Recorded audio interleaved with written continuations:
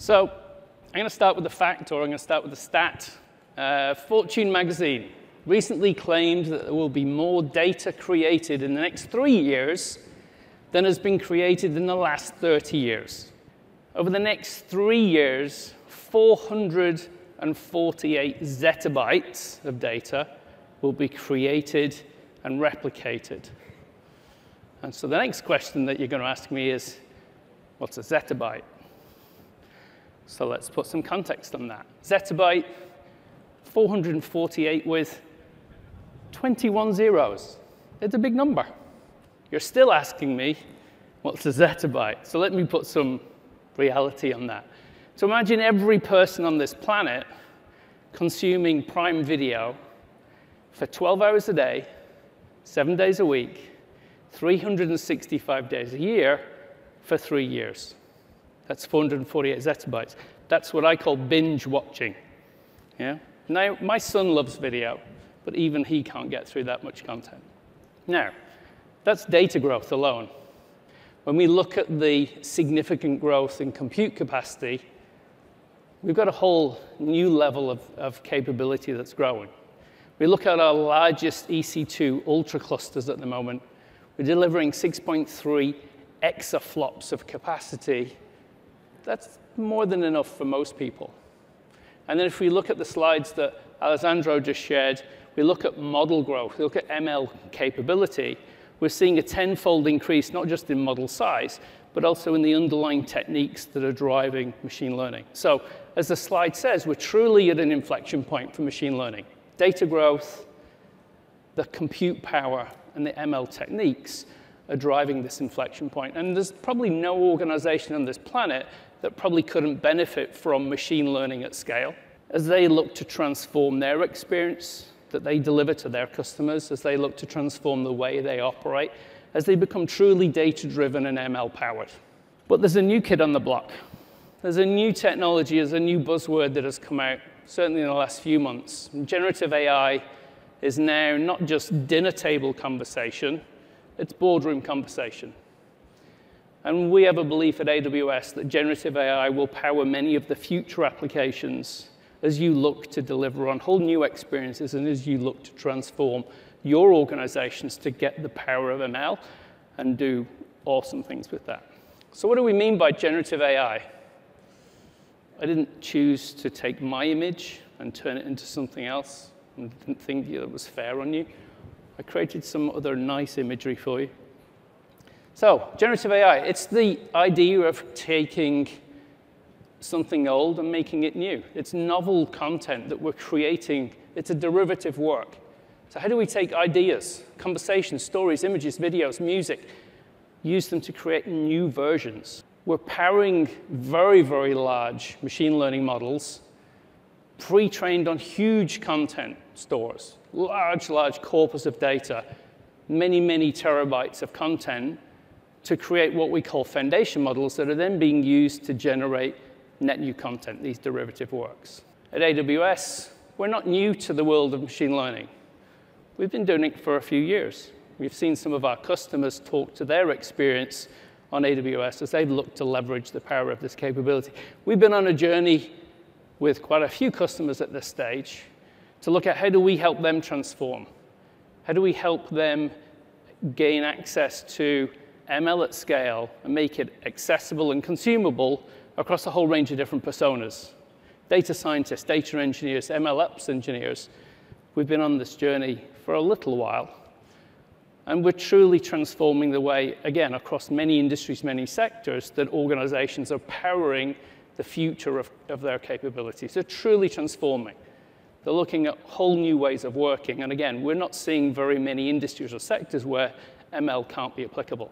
We've got the broadest and deepest capabilities across our three layers of the stack, whether you're at the lowest level with our frameworks, custom silicon, as Alessandro's just mentioned, our middle layer with SageMaker, managing the end-to-end process, the ML lifecycle, everything from annotating data all the way through to deploying those models and managing those in operation, in production over the long term all the way up to our highest level of AI services, helping to really democratize and drive ML consumption to developers with no ML skills. So we've been in this journey for a while, and we've been helping our customers on their journeys. Where does generative AI sit? So most of us understand this notion of AI. It's this idea that uh, you know, we're allowing computers to essentially mimic what humans do in some rudimentary form. It could even be as something simple as business logic, business rules, conditional logic, if then else statements. Within that, we then look at machine learning, the discipline within the broader space, the umbrella category of AI. Look at machine learning. We're changing that paradigm. We're shifting from code generating data to data essentially generating code. In many cases, supervised techniques where we're, we're tagging our data, we're actually giving the outcome, and we're learning from that. We're learning what the model should actually create. Deep learning has become a little bit of a thing, certainly very popular over the last decade. AlexNet, I think was on Alessandro's slide back in 2012, really drove that first shift around the resurgence of neural networks and the massive growth around novel new architectures that have massively shifted the way that we consume ML today. One of the nice things about deep learning and, and, the neural network architecture is we can use unsupervised training. We don't need a lot of supervised data. We don't even need to necessarily worry about features within our models. The network, in some cases, will take care of that for us. In 2017, we introduced the transformer. The world was introduced to the transformer architecture, and that massively shifted things up. And so while generative AI is not new, prior to the transformer, it was certainly a thing. Most people remember deepfakes. You know, they're essentially generative AI. What we're now seeing is this new category fueled by the transformer that is allow, allowing us to do this at scale and actually tackle some of the problems that we had previously around things like context length and really just having a you know, understanding of history so that we can create some really novel new content, text, images, audio, that type of thing. So how do these foundation models work? Well, it starts with a lot of data, as we've said. In many cases, if we look at models like GPT-3, probably 45 terabytes of text data. It's a big amount of data. It's internet-scale data. We're taking sources like Common Crawl or the Pile and actually taking those and using those to fuel these early foundation models. Now, the nice thing is that, again, we're, we're using unsupervised training. We don't need to label that data. The model is extracting the essence of what has been reflected in that data to create a foundation model. So we pre-trained to create this foundation model. Now, foundation models we're hearing are getting larger and larger. My personal view is that trend will probably curtail. We'll actually start to see far smaller models as we look to knowledge density within those, those networks. But what we're now seeing is through adaptation, through fine tuning to a given domain or a given problem space, we can create some really novel outcomes from this foundation model. So we can look at text generation, summarization, information extraction, Q&A, a whole range of tasks that have been taken from a generalized model and made very specific to your world and your problem. When we look at the types of models available, and we've seen some examples on stage already today, text is a great one. So text-to-text -text models, we're taking an input, in this case, summarize articles on the impact of walking on heart health. And unsurprisingly, 10,000 steps a day are recommended. Everyone got their 10,000 in today. Pretty large conference center. I'm hoping that most of you got your steps in. Looking at things like text to embedding. How do we take text and then convert that into a vector, into an embedding, a representation of that text? Not just the words, but also the meaning. And how do we use that then to infer new representation or new meaning? So in this case, we're looking at things like hand soap refills, hand soap dispenser, hand soap antibacterial. If you've ever used Amazon.com, if you've ever typed any query into the search box, you're using these kind of embeddings. You know, we build a hu huge foundation model that sits behind the scene that powers Amazon search. It uses our product descriptions, our product imagery, our product reviews to create the best search model possible so that when you're interested in going in and typing in, sell me a pink guitar, it will give you all of the best pink guitars possible. And then finally, we're looking at these novel new multimodal models, whether it be text to image or even the other way around, image to text, text to audio, text to video. Text to video is the next big thing. Just you wait. It's out there. It's coming. You know, whatever social media platform you choose to consume, it's going to be full of spam videos very quickly that have been foundationally generated. So if I'm interested in a photograph of an astronaut riding a horse on Mars, I can type that into a prompt, whether that's in stability.ai with their stable diffusion models, whether that's using a DALL-E model, whether that's using Midjourney, and I can get a picture of a horse with an astronaut on it riding on Mars, because that's where all the best astronauts ride their horses. Why foundation models? Why is it a big thing? Why is it suddenly taking the world by storm?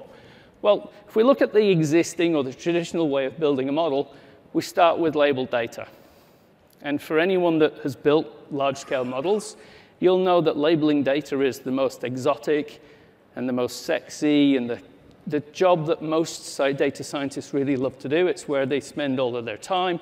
It really gets them up in the morning. It's, it's actually super fun. It's not fun at all. Labeling data is actually a pain.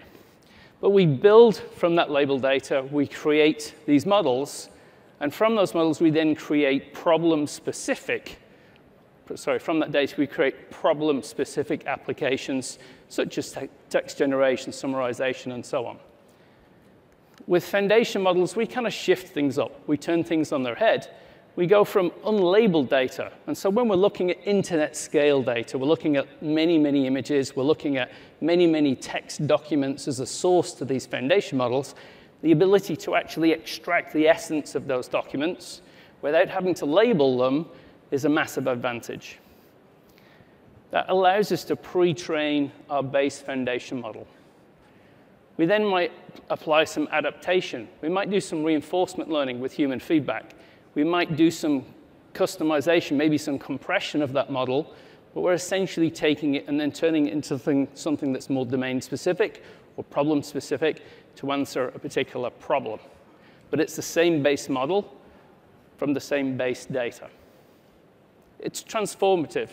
It's really shifting the way that we think about machine learning, and it's allowing us to take a single model and through adaptation apply it to many downstream problems. And in many cases, that ad adaptation is very easy and requires very little data to actually get some amazing results. What kind of results? So you name it, everyone's trying it right now. And uh, one thing I would say is, while generative AI has captured the imagination, it's certainly captured the attention of the world, I think everybody has been talking about it, almost everybody, for the last few months. There are a couple of examples where you would perhaps choose not to use generative AI. And I think recognizing that it is not the solution to every problem is definitely a good place to start. But on the whole, when we look at across a whole range of different industries or verticals, whether you're doing chatbots or all the way down to chip design, there's something in it when it comes to generative AI. So uh, over the last couple of months, and actually as part of our journey in this space, as AWS has been working with our customers to look at how do they build ML at scale? Uh, how do we help them with some of the challenges of design, build, train, deploy, manage their models? Specifically when it comes to generative AI, there are five things that come up that most of our customers are looking for. And so I wanted to spend the last section of this presentation really just talking about how we've addressed some of these challenges. So starting off with flexibility, one of the things that we've been told and recognizing that today's best model, and your definition of what best means is your choice, today's best model may not be tomorrow's best model. And so irrespective of where you're sourcing your foundation model from, our customers are looking for choice. They need a straightforward way to find and access high performance models that are going to deliver the best results for their particular problem today. And so some of you be aware of the fact that last month we announced a number of new capabilities, the first of which was Amazon Bedrock. And so Bedrock is a managed service, fully managed service, that requires zero management on your behalf, serverless in nature, no, no need to actually manage any of the back-end infrastructure that gives you flexibility in access to those foundation models and delivers it essentially through an API. It's a single API call. Summarize this text, generate some new text, look at the sentiment of this content. What we give you is a choice of foundation model. And so whether you're interested in models from AI21 Labs, you're interested in models from Anthropic or Stability, you have the choice as to which foundation model you want to leverage and use today. And over time, we will continue to add to that list of models.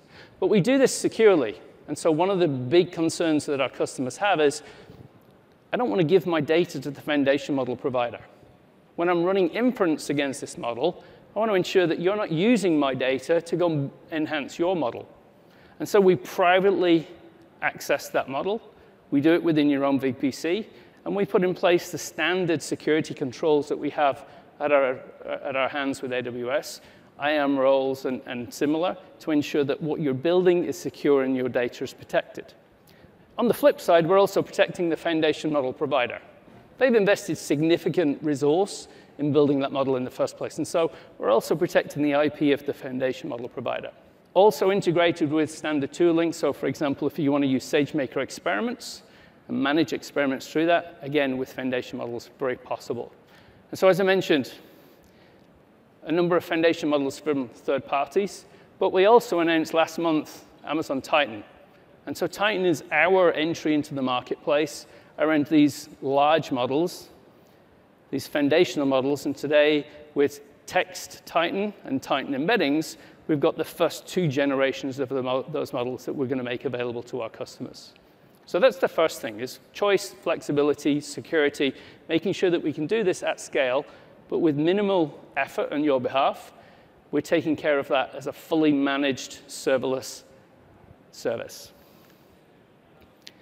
Second one is secure customization. So as I mentioned, these foundation models, while they're very powerful, actually really good at generalizing. They're not very good at anything. They're generally good at lots of things. So one of, one of my friends and colleagues, Julien Simon from Hugging Face, I think he describes it as they're a million miles wide and they're an inch deep. I kind of like that analogy. And so our customers are looking for a way to take these foundation models and build on them. How do we start to provide fine tuning, again, securely, so that we can customize that model to my world, my problem, my domain?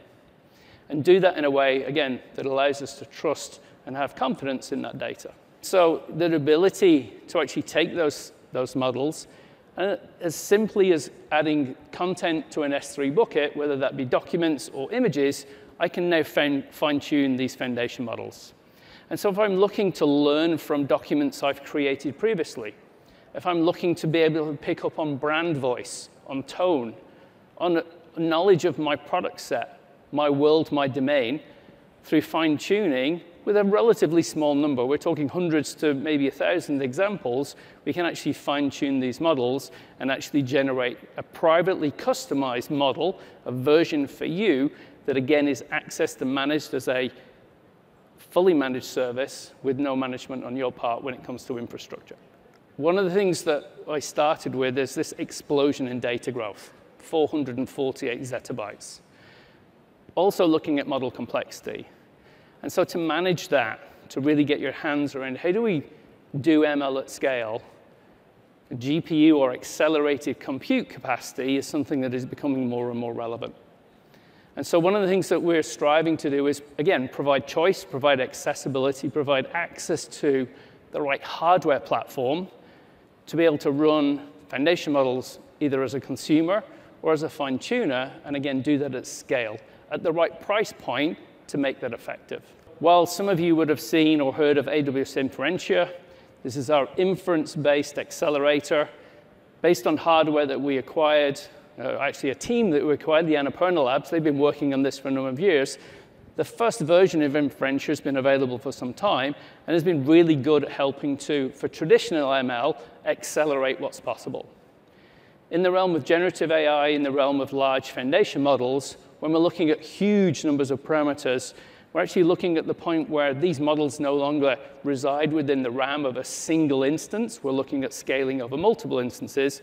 Technology like AWS Trainium that we announced last month gives you 50% saving on training cost, 50% faster in many cases compared to a comparable EC2 instance.